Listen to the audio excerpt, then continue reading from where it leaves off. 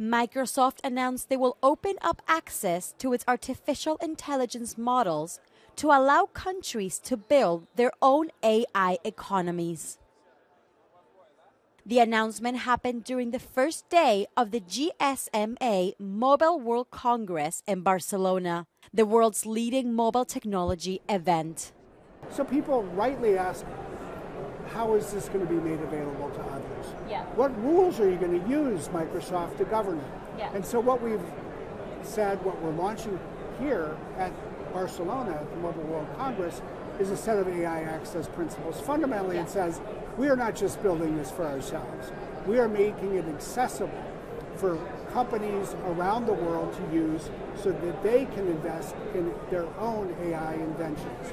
I think it's extremely important because we're investing enormous amounts of money, frankly, more than any government on the planet, to build out the AI data centers so that in every country, people can use this technology, they can create their AI software, their applications, they can use them for companies, for consumer services and the like. If you're open sourcing your um, AI models, obviously people could, could use them for bad, for, for negative purposes. And so I guess the big question is, how do we protect against the negative use of AI without inhibiting innovation? I think our purpose is, in this era of time, hopefully to create technology that is going to help the world solve the problems we need to solve, mm-hmm. say whether we're talking about climate change or Yeah. the protection of democracy.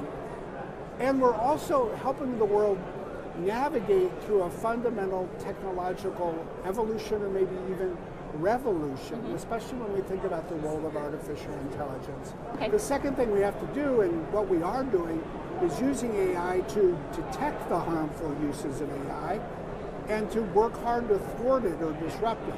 And I think that is equally important, using AI as a defensive mm-hmm. shield, even if someone else wants to use it as a sword. Over 95,000 attendees, 2,400 exhibitors, and over a thousand speakers are expected at the event in Barcelona, which will take place until February 29.